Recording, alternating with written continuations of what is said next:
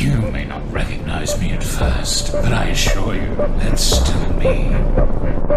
I always come back.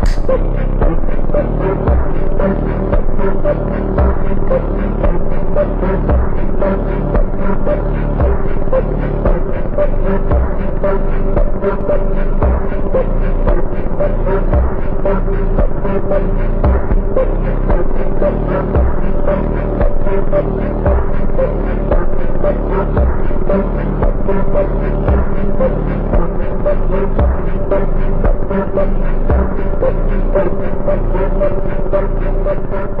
you.